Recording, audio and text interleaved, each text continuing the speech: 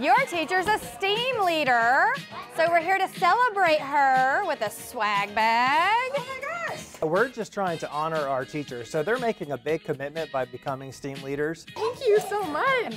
Uh, it's a multi-year process where they're going to have intensive professional development. Congratulations on being a new STEAM leader. Uh, and then help us train our teachers as well. So it's a, it's a it's a quite an accomplishment to be named a STEAM leader. Congratulations on being a new STEAM leader. So we're just trying to celebrate the teachers uh, for them being willing to, to put themselves out there and accept the challenge of being a STEAM leader. So she was coming up with a different word for lovely so that she could come up with a word that would rhyme. A STEAM leader is somebody who is willing to take risks as a teacher and to collaborate with their peers. We're looking for teachers that are uh, not afraid to look outside of the box and, and venture out and try to develop these great learning experiences for their students. I'm so excited to be a STEAM leader because I love being able to integrate inquiry, letting students be creative. So is this a scary story too?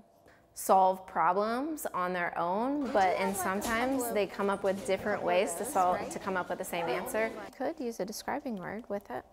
And I love watching them be innovative and creative. What do they do with our senses? I think STEAM are science, technology, engineering, math, art, all of those things.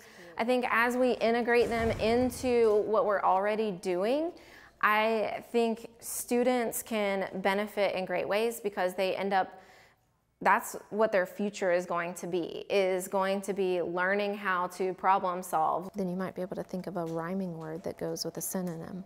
Bring their ideas to the table and how does it match with real life? You then are going to choose which color of food coloring you want? Well, when we talk about STEAM in the Fort Mill School District, we are looking for teachers to create meaningful, engaging lessons. It looks really cool, Reed. That help our students learn the standards. Our STEAM leaders, we're really encouraging them and all of our teachers uh, to, to provide lessons that hook our students in, that are real world learning uh, examples. Well, you were right. Go ahead and write it down. Good job. You remembered. We're really excited for this opportunity for our teachers to keep growing, to keep learning, uh, to advance themselves as teachers, and, and really to model lifelong learning. We want our students to be lifelong learners. We certainly want our teachers to be lifelong learners. And this is just a, another way for our teachers to prove the great work they do in our schools.